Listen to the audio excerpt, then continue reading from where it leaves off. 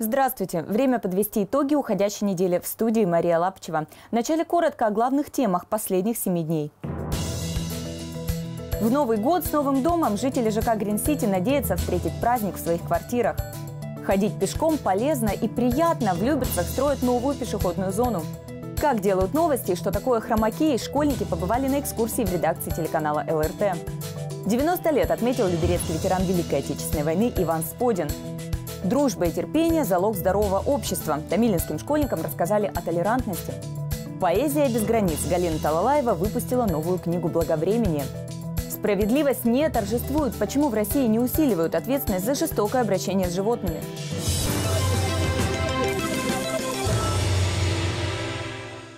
Дольщики ЖК Грин-Сити должны заселиться в свои квартиры до Нового года. Такую задачу перед подрядными организациями поставил Владимир Ужицкий на очередном выездном совещании. Добавлю, на объектах строительства активно ведутся завершающие работы. В этом убедилась и наша съемочная группа. Сегодня радость случилась. Я держусь за горячий стояк. И, честно говоря, не верили, что в этом году тепло дадут.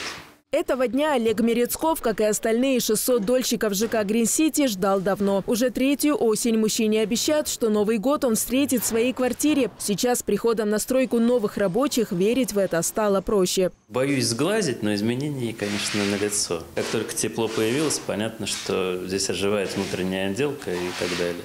Начиная с сентября этого года, каждую среду член инициативной группы принимает участие в рабочих собраниях с подрядными организациями. На последнем выездном совещании присутствовал глава округа Владимир Ужицкий. Он поставил задачу подготовить акт о завершении строительства к 17 декабря, а уже 25 числа выдать дольщикам долгожданные ключи. Так как времени осталось совсем немного и важна буквально каждая минута, глава потребовал ежедневного отчета о проводимых работах. В целом дом готов, все сделано, тепло подано.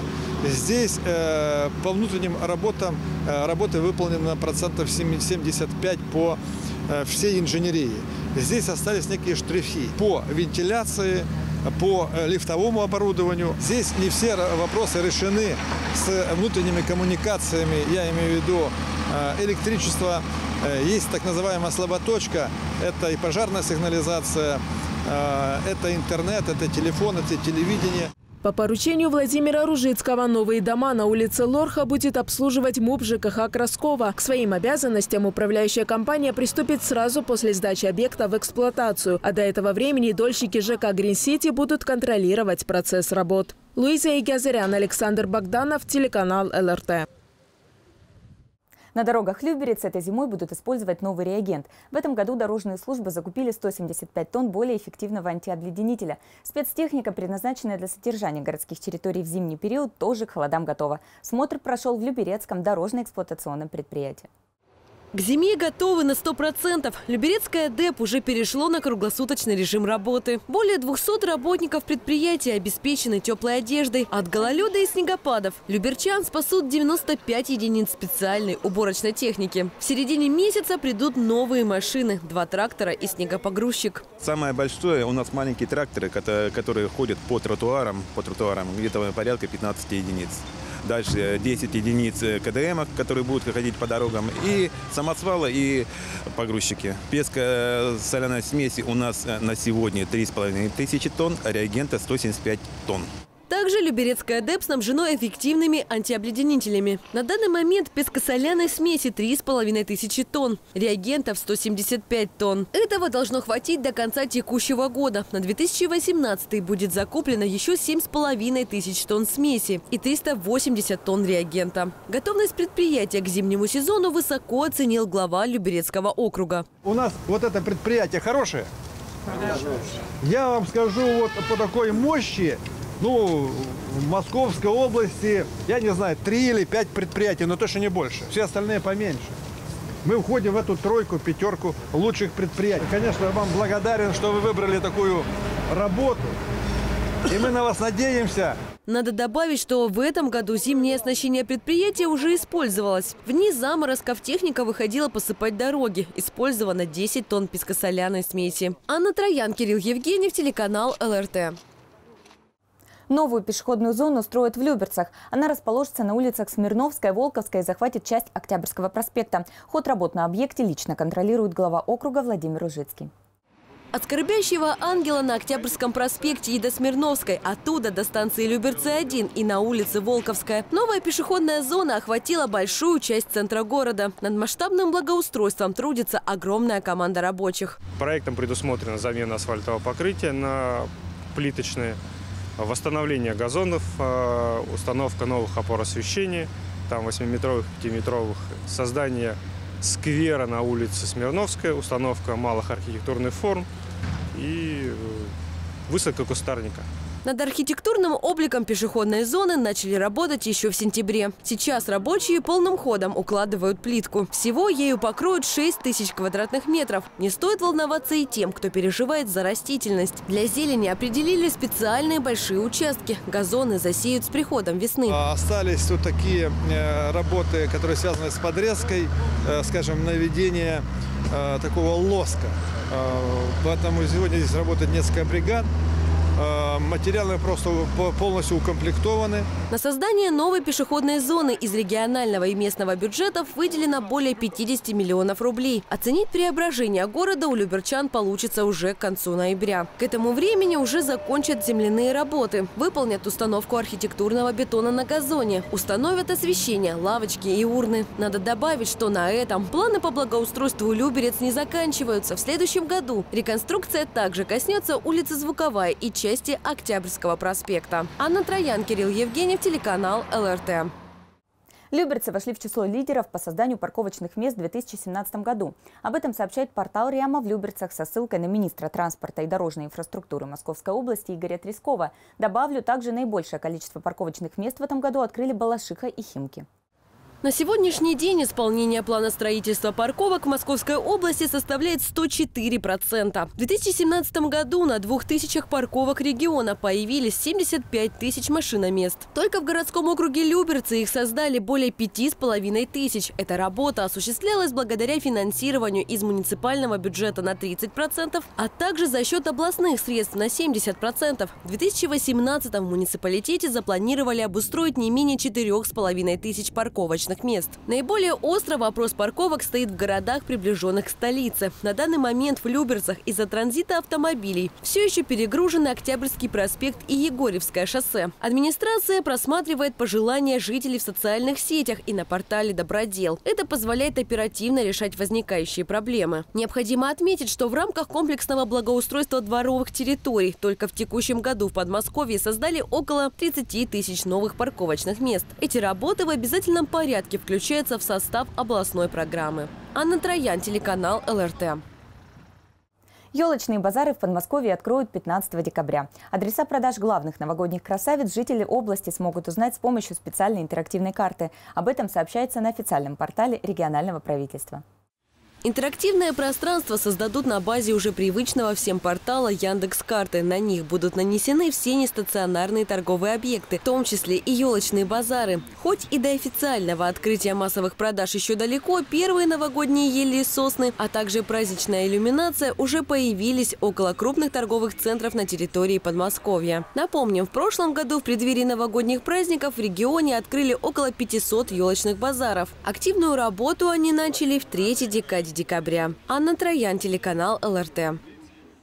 К 1 декабря люберцы украсят 132 живые световые новогодние ели. Об этом сообщает портал Риама в Люберцах со ссылкой на главу муниципалитета Владимира Ружицкого.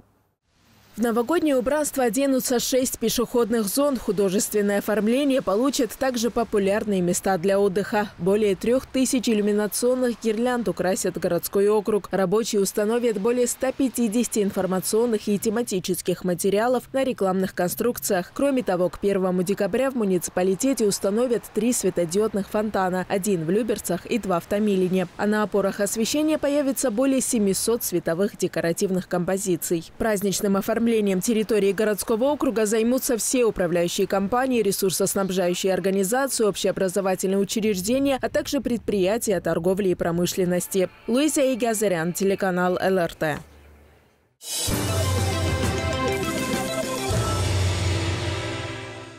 90 лет исполнилось люберецкому ветерану Великой Отечественной войны Ивану Александровичу Сподину. В этот день его поздравили родные, близкие и глава городского округа Люберцы Владимир Ужицкий. Самое доброе пожелание. Ну, смотрите, тут э, Владимир Владимирович Путин Вот президент. По поручению тоже э, здесь его поздравления. Это вы потом э, прочтете, да? Поздравления от самого президента России, подарок от губернатора. В этот дом глава городского округа пришел с презентами, так же, как и родные юбиляра. Мы поздравляем тебя с твоим юбилеем. Живи долго, радуйся жизни, чтобы все у тебя было замечательно. Такие цифры на торте может увидеть далеко не каждый, однако солидный возраст Ивану Сподину совсем не мешает. Он полноценно участвует в жизни своей семьи, занимается спортом. А за свое долголетие он благодарен жене Марии Георгиевне. Вместе они отметили бриллиантовую свадьбу, прожили более 60 лет. Она очень лелела меня и всячески старалась, чтобы не обижать, чтобы меня, чтобы так строить жизнь нашу вдвоем вместе, чтобы было всегда и для нас хорошо, и для детей хорошо. Советской закалки, за его плечами Великая Отечественная. На войну он ушел по собственной воле, будучи несовершеннолетним. Фронтовик-минометчик День Победы встретил в Польше. А дальше успешная карьера связиста на Дальнем Востоке и работа старшим мастером на заводе имени Камова. На память обо всех достижениях 15 медалей, два ордена и другие многочисленные награды. В Люберцы Иван Александрович переехал в 82 году. Меня перевели как хорошего активного специалиста – организовалось Министерство связи Российской Федерации, и меня перевели в Москву работать заместителем начальника хозяйственного управления. Не жалея ничего, как говорится, ни своего здоровья, где работал и меня поощряли, я мастер связи. Иван Сподин – трудоголик по жизни. Как незаменимый специалист работал до 83 лет. Занимаясь карьерой, не забывал и о семье. Для любимых дочек и внуков всегда был примером для подражания. Опыту отца и дедушки следует все его дружное семейство. Он очень обязательный, добрый и требовательный. Не только к окружающим, но в первую очередь к себе – Поэтому э, все, что касается окружающих, понятное дело, что все только равняются на его такое отношение и э, стараются поддерживать вот, этот, вот эту планку, которую задает он. И, вероятно, отметить такую дату Ивану Сподину было дано свыше, как вознаграждение за достойную жизнь. Анна Троян, Кирилл Евгеньев, телеканал ЛРТ. В Люберцах закрыли футбольный сезон. Заседание прошло в администрации. На мероприятии присутствовали представители спорткомитета и местных футбольных клубов. Я надеюсь, нам по силам в следующем году занять первое место. По итогам сезона ФК Люберцы стал серебряным призером чемпионата России в третьем дивизионе зоны Московской области. Футболистам совсем немного. Не хватило до победы, но они показали отличную игру. Сезон как бы разделился на две части. Первые 11 игр сезона, когда команда не совсем, скажем, удачно играла и набирала очки. И После этого 19 игр, в которых команда одержала 18 побед. Первый круг мы набрали 28 очков, во втором круге мы набрали 42 очка. Во втором круге ФК Люберцы даже смог обогнать по количеству очков лидирующую команду сезона. Наши футболисты забили на два гола больше, чем ФК «Квант» из Обнинска. Таких успехов удалось достичь за счет привлечения новых игроков в команду и смене расстановки спортсменов. В итоге некоторые люберчане смогли забить ворота соперников по 15 15 и 14 мячей. Мы подбирали игроков, которые э, могли бы усилить наш атакующий потенциал, потому что в оборонительном плане у нас было все хорошо, и команда э, за первый круг пропустила меньше всех мячей. Команда преобразилась и стала э, лидером по числу побед, которые были одержаны в этих играх. В течение сезона власти Люберец оказывали большую поддержку спортсменам. На подведении итогов глава округа отметил высокий уровень игры команды и вручил благодарственное письмо главному тренеру клуба за достигнутые результаты. Игрокам Владимир Ужицкий пожелал новых побед и не останавливаться на достигнутом. Сезон прошел. А я думаю, что в целом все удовлетворены за исключением некоторых. Потому что некоторые рассчитывали на первое место. Поэтому всем за это спасибо. Э, много сил сюда положил вот и Сургов Владимир Владимирович. Теперь на футбольный клуб Люберцы возложено много надежд. В следующем году от них ждут только победы и попадания во второй дивизион чемпионата России. Подготовку к сезону 2018 спортсмены начнут в марте. Анна Троян, Сергей Гвоздев, телеканал ЛРТ. В рамках 53-й спартакиады «Олимпионик-2018» стартовали соревнования по баскетболу среди юношей, учащихся общеобразовательных учреждений городского округа Люберцы. За ходом игры наблюдал наш корреспондент. Гимназия номер 16 городского округа Люберцы стала одной из площадок для зональных соревнований по баскетболу среди юношей. Здесь за выход в финал боролись пять команд. Вы знаете, очень сильные команды по прошлому году. Это 25-я школа, это первая гимназия. Мы надеемся, что мы тоже не ударим в грязь лицом составим достойную конкуренцию. Ребята рослые, ребята высокие, ребята красивые, спортивные. И дай бог им всем удачи. Профессионализм – главный критерий победителя, но и удача в спорте немаловажна. На этот раз она была на стороне команды от Люберецкой гимназии номер 16. Одержав победу на зональных соревнованиях, они стремятся победить и в финале. Тем более, что в ее составе есть игроки, добившиеся больших успехов в этом виде спорта. Как Павел Клинов, кандидат в мастера спорта по баскетболу, призер России. Поэтому все ожидания ребят могут осуществиться. У нас была определенная тактика. Сначала мы начали держать игроков лично, то есть каждый игрок со своим игроком. Потом мы встали зон. Три игрока сверху, два игрока снизу. И это привело нас к победе. В этом году зональные соревнования по баскетболу открыли юноши, но за ними теперь предстоит игра и женским сборным. За любимую мужскую команду вы сможете поболеть на финале, который пройдет 23 ноября. Мария Антонова, Сергей Гвоздев, телеканал ЛРТ. Привлекать как можно больше людей к спорту – главная задача общественной организации «Русский характер». Совместно со спорткомитетом они проводят открытые тренировки, где на своем примере показывают, каких результатов можно добиться благодаря спорту. На этот раз они посетили Люберецкую гимназию номер 43, где продемонстрировали ребятам навыки восточного единоборства киокушинкай карате. Один раз в неделю представитель организации «Русский характер» проводит открытые спортивные тренировки. В теплое время года они проходили на дворовых спортплощадках. Теперь это спортзалы общеобразовательных учреждений. На этот раз мастер-класс ребятам провели профессионалы карате. И этот вид единоборств ни одного не оставил равнодушным. Эта тренировка дает, э, в принципе, некоторый опыт в каких-то, можно сказать, даже городских условиях, потому что мы живем в Люберцах все-таки несколько. Но больше всего понравилось все-таки упражнение с э, нагиварами. А, то есть действительно можно отработать так, технику удара, можно все распределить грамотно, вес между двумя ногами. То есть это все очень полезно и информативно для меня. Тренировка была построена на базовых элементах карате, но и это оказалось достаточно сложным для школьников. Девчонки и ребята это все сегодня пытались э, понять, сделать. У кого-то получалось, ну, конечно же, больше счастья нет, потому что все это делали впервые. Но в наше последнее время, когда дети не растут на улице, как и раньше, а растут дома с компьютерами. Спорт сейчас как нельзя лучше помогает даже банально сделать ребенка скоординированным. Подобные тренировки проводятся с начала лета в рамках программы «Спорт в каждый двор». Прививают интерес к спорту, а также обучают людей, как правильно выполнить тот или иной элемент настоящие профессионалы своего дела. Мария Антонова, Александр Богданов, телеканал ЛРТ.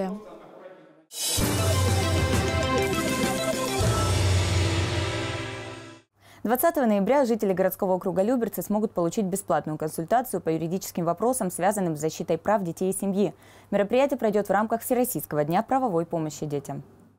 За бесплатной консультацией к специалистам может обратиться любой гражданин, в том числе дети, родители, опекуны и попечители. Прием будут проводить комиссия по делам несовершеннолетних, сотрудники управления образованием, опеки и попечительства, а также социально-реабилитационного центра для несовершеннолетних. Кроме того, прием граждан будет осуществляться в Люберецкой городской прокуратуре, Московском областном отделении Ассоциации юристов России и в Люберецком управлении социальной защиты населения. Также обратиться за консультацией в этот день можно в отдел участковых уполномоченных полиции и по делам несовершеннолетних Межмуниципального управления МВД России «Люберецкая». Напомним, в феврале текущего года в Люберецкой администрации проводила выездной прием населения уполномоченный по правам ребенка в Московской области Ксения Мишонова. Луиза Игазарян, телеканал ЛРТ.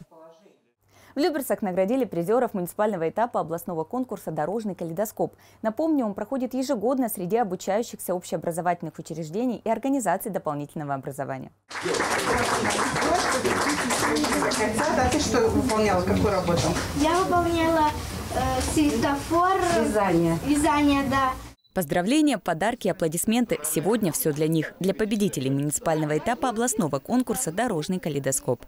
Пускай будет сегодня у нас погода не очень повезло, но хочу пожелать хорошего вам настроения. Вот. Ну и самое главное – побед в остальных конкурсах, в которых вы будете участвовать. В муниципальном этапе участвовали 186 человек из 32 образовательных учреждений. 17 из них заняли призовые места. Среди них третьеклассница Полина Злыденная с работой из бисера «Дорожный калейдоскоп». Девочка стала первой в младшей возрастной группе. Стояли две лошадки и зебра. И эти две лошадки, они удивлялись, почему здесь зебра стоит. Там был пешеходный переход. Потому что если не будет пешеходного перехода или другого места, тогда э, кто-нибудь попадет в аварию. Этот конкурс не только про творчество и умение что-то делать своими руками. Он про правила поведения на дороге. В процессе изготовления поделок дети лишний раз повторяют ПДД. Это прежде всего это изучение правил дорожного движения. Просто так ребенок не поставит светофор где-то поперек дороги. Он должен изучить, где должен стоять этот светофор. А очень много работ а, а, вот а, как раз вот улица, дома и пешеходные зоны, и зона для автомобилей. И как раз это все это способствует безопасности дорожного движения. Дети изготавливали работы в разных техниках. Это и вырезание из бумаги, и лепка, и резьба по дереву, и бисероплетение, и валяние из шерсти. По словам сотрудников Люберецкого управления образованием, каждый год в конкурсе принимают участие все больше детей. Сегодня в нашем конкурсе принимали участие дети от 5 до 18 лет, то есть у нас прослеживается с вами преемственность. Были детки дошкольного образования, школы. Я очень рада, что разные возрастные группы у нас э, заняли достойные места. Победители получили грамоты и подарки, развивающие игры, блокноты, рамки для фотографий. Добавлю, работы призеров муниципального этапа были отправлены на областной. И во время награждения стало известно, второе место заняла Оксана Веремейчик с работой «Мокрое и сухое». Мария Лапчева, Никита Скраган, телеканал ЛРТ. Томилинских школьников научили терпимости. В библиотеке на Пионерской улице прошел открытый урок на тему «Толерантность народов мира». Ученикам второго класса 18 гимназии рассказали о том, что такое дружба и терпение к другим людям. В рамках программы урока дети играли, ставили сценки и смотрели мультфильмы. Учеников 18-й гимназии в библиотеке по традиции встречают сразу на пороге. Для ребят заготовлен интерактивный урок на тему толерантности народов. Для начала старший библиотекарь Лилия Бодрова рассказывает детям, что такое быть толерантным. Ребята, мы все люди, и я тоже могу обижаться и сердиться на кого-то, и с кем-то поссориться. Но в том-то и э, разность, что мы должны с вами уметь найти свои ошибки и терпеть Э, мнение и высказывания других людей, если оно вам не нравится. Мы э, ребятам рассказываем о том, что это за день, и вообще, что такое понятие толерантность в игровой форме. Вот. В гостях у нас три, э, второй В класс, гимназия 18. Вот. И беседа на эту тему с игровыми моментами. Также второклассникам рассказали об эмблемах и символах толерантности. А в качестве развлечения детям предложили сыграть в клубок добрых слов. Передавая друг другу нитки, школьники говорили по одному комплименту. Это красивые волосы. О, это уже я подсказала. Волосы, Ты замечательная. После игры школьники разыграли мини-сценку по мотивам сказки «Репка» и посмотрели мультфильм о дружбе. О нашей съемочной группе ребят рассказали, что не понаслышке знают, что такое толерантное поведение. И в их классе поддерживается дружелюбная атмосфера. Такое клякса, объяснить ему надо или ей, что так нельзя делать. А по попе можно ей дать?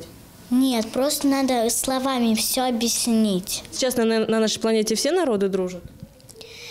Не все, потому что разные страны, Япония, Россия, Китай, они все разные и разговаривают по своим языкам. Уроки для детей на абсолютно разные темы проходят в библиотеке на Пионерской 20 регулярно. Уже 17 ноября здесь ждут школьников на мастер-класс по сказкам Владимира Сутеева. Станислава Меркурьева, Алексей Табаков. Специально для телеканала ЛРТ. Что такое хромакей, чем занимаются монтажеры и как вообще работает телевидение? Ученики третьего класса школы номер 10 посетили редакцию телеканала ЛРТ и получили наглядные ответы на все свои вопросы. Вы из какого класса? Какая школа? Третьего! Так весело началась экскурсия по редакции телеканалу 3 Б-класса. Отложив свою работу, шеф-редактор Наталья Григорьева стала для детей экскурсоводом в мир телевидения. Это мероприятие прошло в рамках знакомства ребят с профессией под названием «Медиа-маршрут». Чтобы они выбирали уже заранее, знали, какие профессии существуют и могли выбрать уже начиная прям с младшего школьного возраста. Школьники посмотрели все, из чего состоит телеканал. Редакторская, монтажная, вещательная комната и, конечно, студия записи новостей. Главная цель экскурсии была достигнута. Ребята заинтересовались, а некоторые даже задумались над выбором своей будущей профессии. Вставлять музыку я умею, картинки всякие писать. Я хотела бы работать в ЛРТ. Мне понравилось. Мне все понравилось. Медиамаршрут школьников состоял из посещения средств массовой информации городского округа, телевидения, радио и газеты. Экскурсия проводится для учащихся младших классов люберецких школ.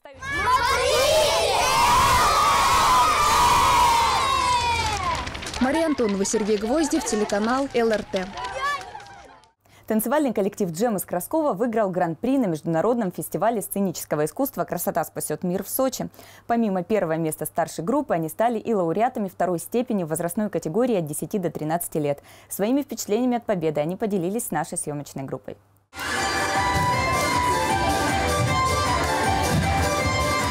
Невероятная техника, долгая подготовка, и они получили то, чего хотели. Танец скоморохи принес образцовому коллективу «Джем» заслуженную победу. Ансамбль существует с 2000 года. За это время ребята одерживали победы в различных конкурсах.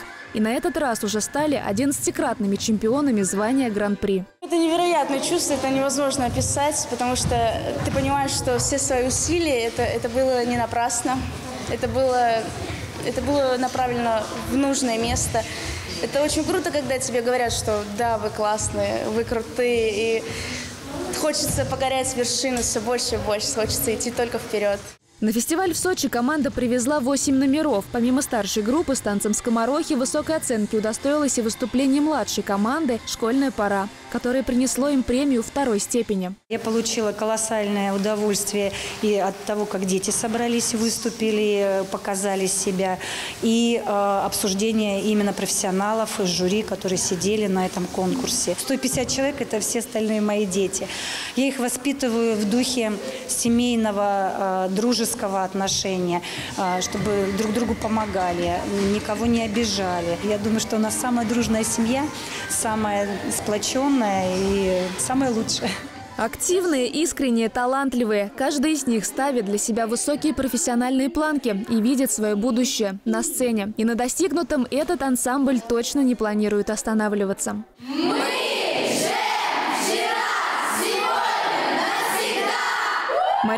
Антонова, Александр Богданов, телеканал ЛРТ.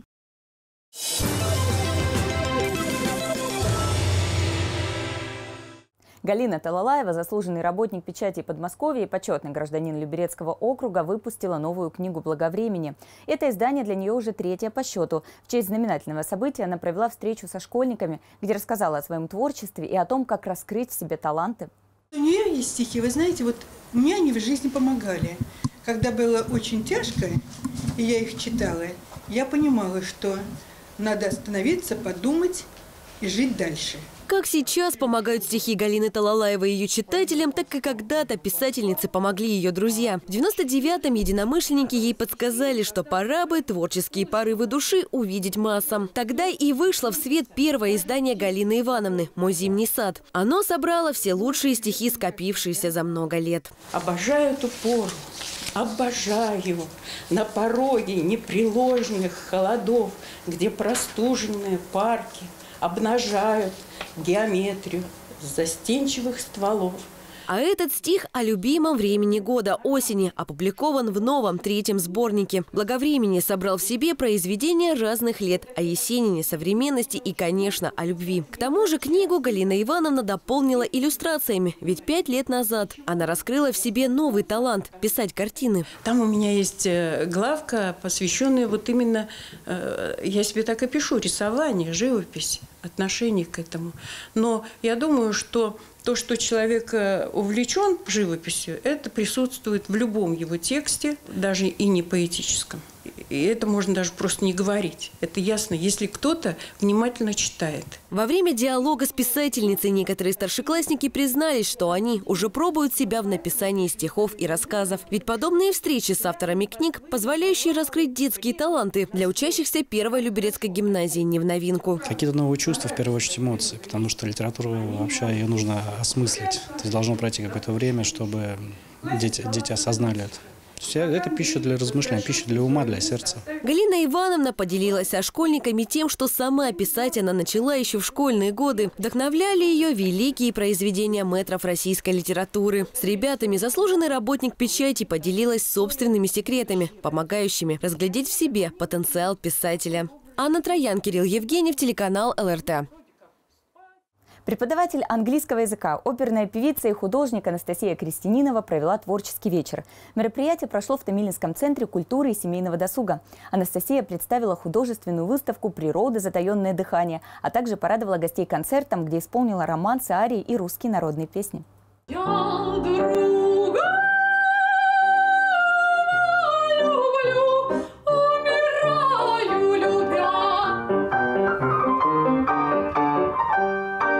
Анастасия Крестьянинова живет в Томилино. Ее родители музыканты, с детства воспитали в ней любовь к искусству. Анастасия – солистка вокального коллектива «Бельканта» при Центре культуры и семейного досуга. В этом году поступила на первый курс в Академию музыки имени Гнесиных, а также совсем недавно открыла в себе новый талант. И вот в какой-то момент, совсем недавно, три года назад, э, я попробовала себя в живописи.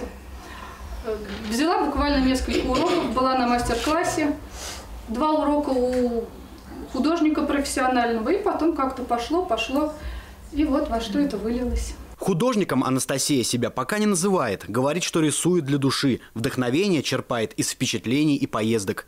На картинах изображены животные и птицы, увиденные во время путешествий пейзажи, а также любимые дочери, которые тоже любят рисовать.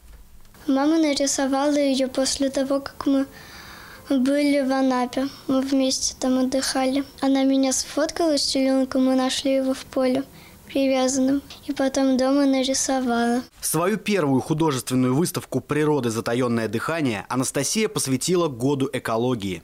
Природу нужно беречь и не захламлять ее.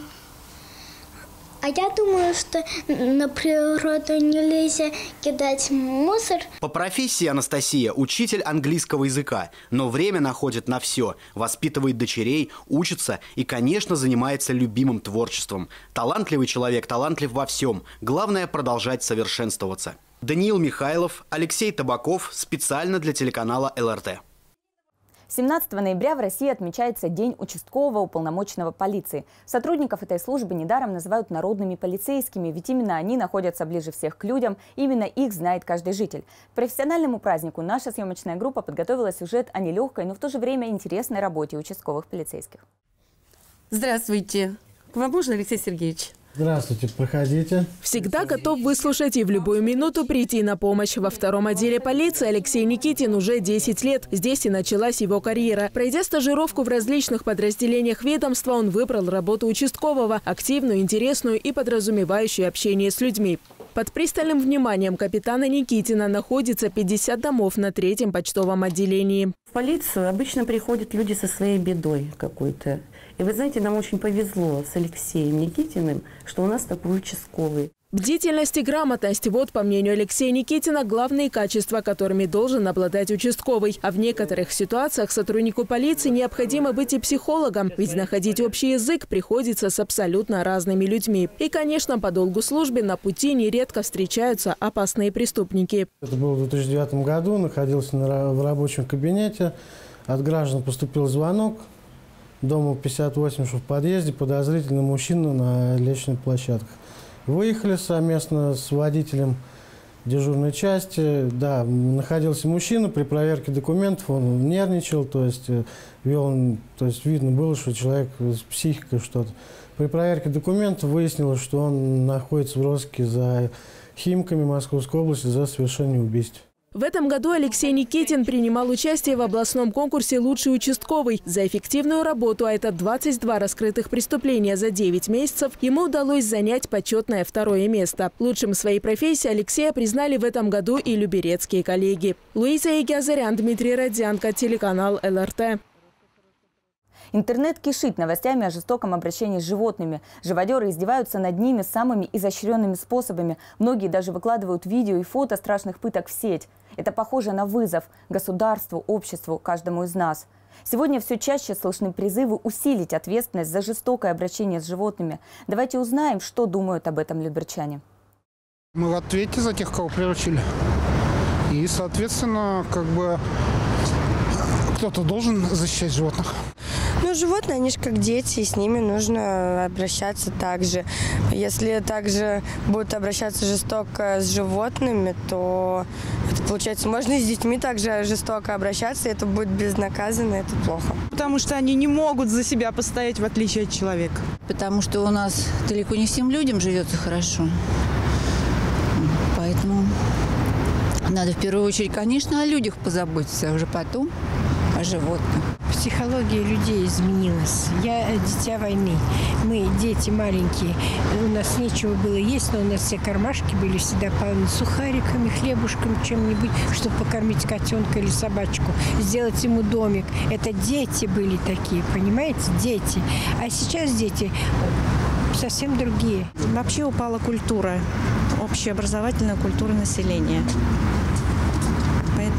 Не знаю, милосердие куда-то подевалось терпимость, жалость. Ну, потому что прежние законы не работают, нет результата, поэтому надо, ну, наверное, что-то более сильное придумать. Ну, менталитет, я думаю, нашего русского народа еще э, ну, не доросли мы до того, чтобы вот э, к нам применять более слабые законы. Ну, у нас законы не работают в России. Большинство законов не работает в России. Закон надо ужесточать, особенно нашей молодежи. Потому сейчас уже они уже не знают, чем заняться и что сделать, чтобы себя показать, что я такая вот сильная над природой. А природа-то, она властвует над нами.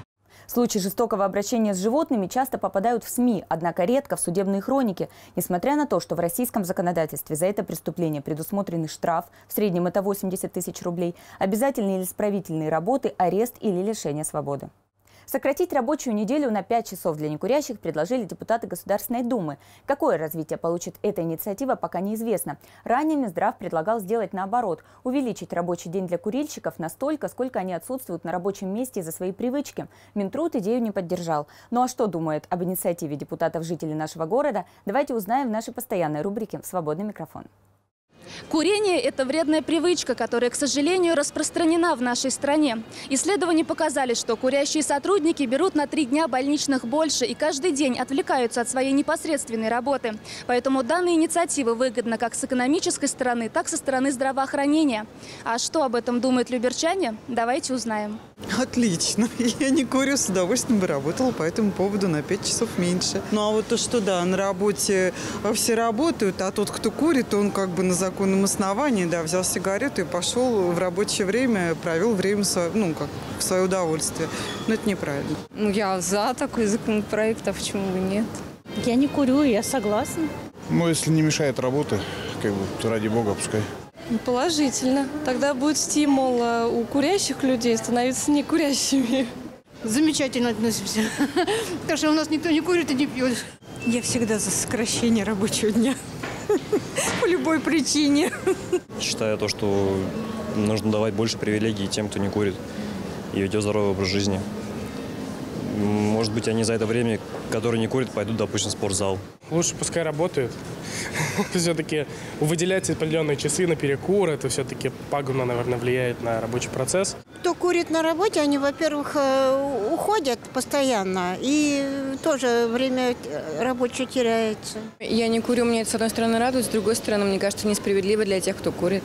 Им же тоже захочется на 5 часов меньше работать. Вот я не курю, спортом занимаюсь и живу еще. Пока этот законопроект находится на стадии рассмотрения, граждане единогласно поддержали инициативу депутатов. Большинство опрошенных считают это справедливым и не намерены терпеть отсутствие коллег на рабочем месте. Мария Антонова, Александр Богданов. Специально для рубрики «Свободный микрофон».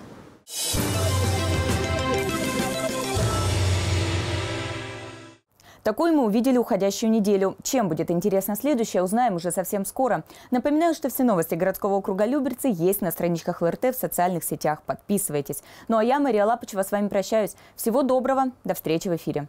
Thank